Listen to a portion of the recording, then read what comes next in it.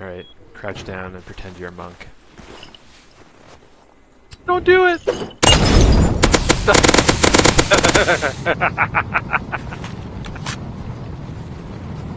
You are fucked, your body is gone.